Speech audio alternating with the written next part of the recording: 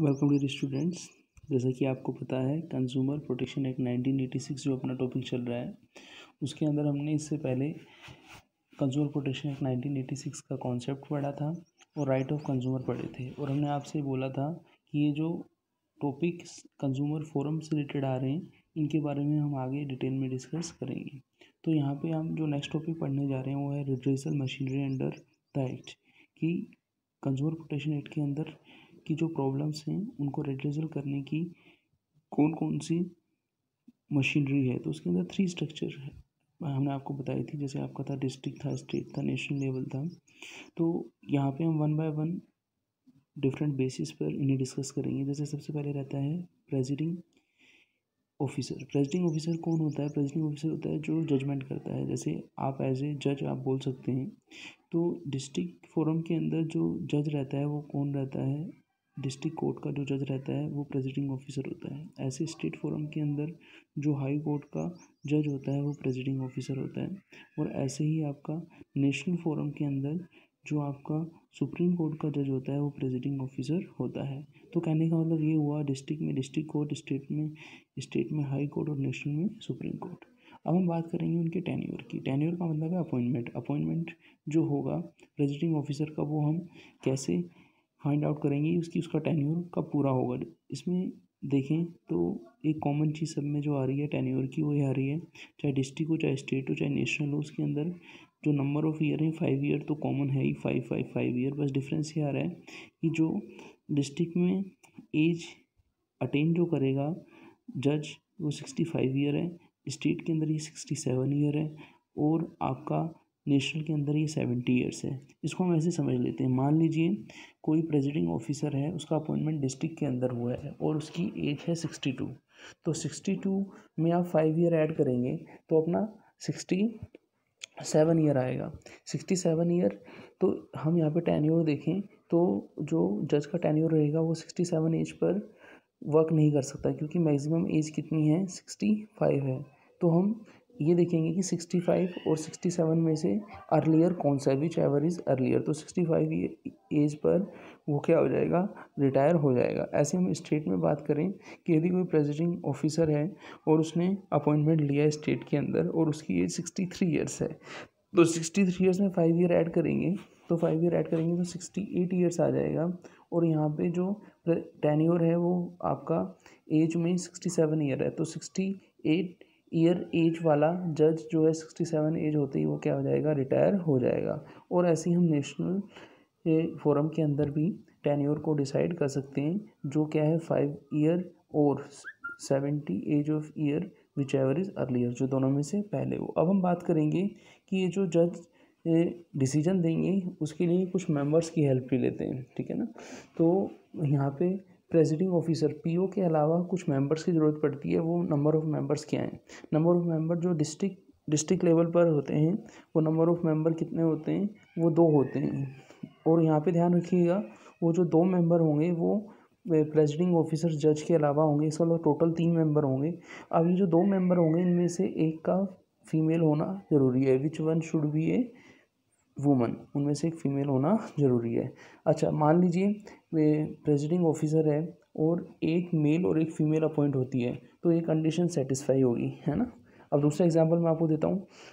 Presiding officer है और दोनों ही फीमेल हैं जो अपॉइंट हुई हैं तो ये कंडीशन सेटिस्फाइड होगी? हाँ बिल्कुल सेटिस्फाइड होगी। क्यों? क्योंकि हमने यहाँ पे बात की है कि मिनिमम एक फ़ीमेल होना ज़रूरी है।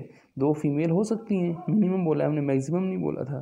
तो यहाँ पे एक प्रेजिडिंग ऑफिसर और दो फीमेल हों तो वो भी अपॉइंट हो सकती हैं। अब हम बात करेंगे स्टेट लेवल पर। स्टेट लेवल पर मेंबर्स की यदि बात करें तो एटलीस्ट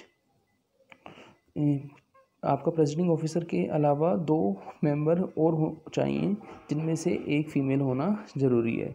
और जब हम नेशनल लेवल पर बात करेंगे तो वहाँ पे जो एटलीस्ट फोर टू मेंबर थे, वो बढ़ के फोर मेंबर हो गए आपका टोटल मतलब प्रेजिडिंग ऑफिसर को मिलाते हुए फाइव हो गए। तो इन फोर मेंबर में से एक का फीमेल होना ज़रूरी है। फीमेल का इसलिए होना ज़रूरी है क्योंकि जब डिसीज़न रहते हैं तो उन डिस्प्यूट के अंदर जो पर्सन होते हैं वो हो सकता है सेलर या बायर, कोई फीमेल हो तो उनका होना ज़रूरी है। अब हम बात करेंगे एज की, मिनिमम एज की बात करें तो इन सभी में मिनिमम एज कितनी होती है? थर्टी फाइव ईयर होती है। Thirty five year and above, इसके अंदर मेंबर बन सकता है।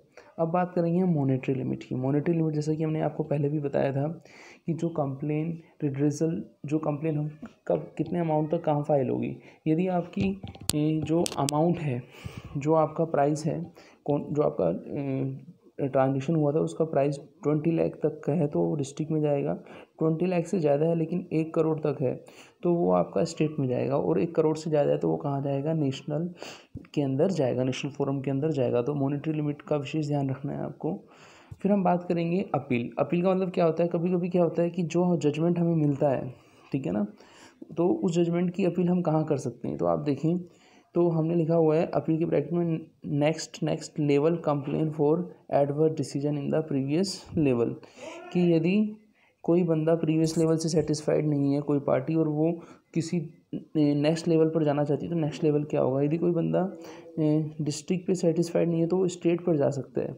और जो स्टेट पर सेटिस्फाइड नहीं है, वो नेशनल पे जा सकता है। और यदि कोई नेशनल पर सेटिस्फाइड नहीं है तो वो कहाँ जा सकता है? सुप्रीम कोर्ट में जा सकता है। तो उसके लिए लिमिट क्या है?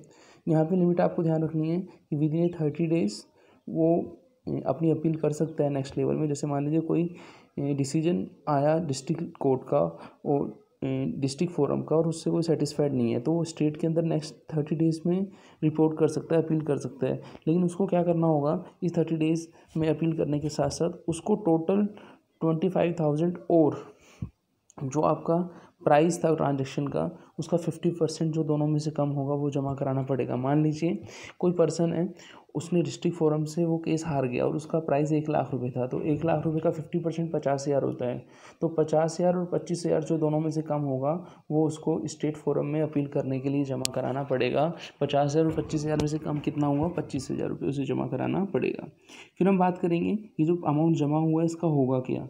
ये जब डिसीज़न फाइनल होता है तो उसमें कुछ डिडक्शन यदि ज़रूरी होता है तो डिडक्ट करके वो अमाउंट वापस लौटा दिया जाता है। अब हम बात करेंगे नेशनल लेवल पर यदि कोई स्टेट लेवल से सेटिस्फाइड नहीं है तो वो नेशनल लेवल पर जा सकता है। नेशनल लेवल पर जाने के लिए उसको thirty days within thirty days appeal करनी होगी।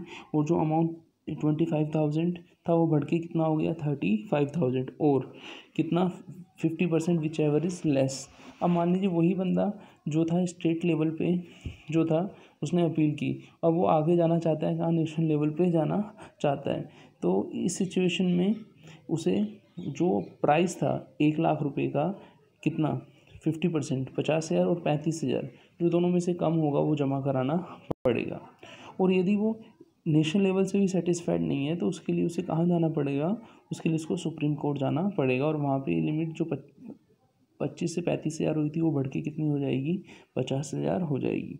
तो हमने यहाँ पे देखा कि कैसे रिट्रीजल मशीनरी वर्क करती है under consumer protection act nineteen eighty six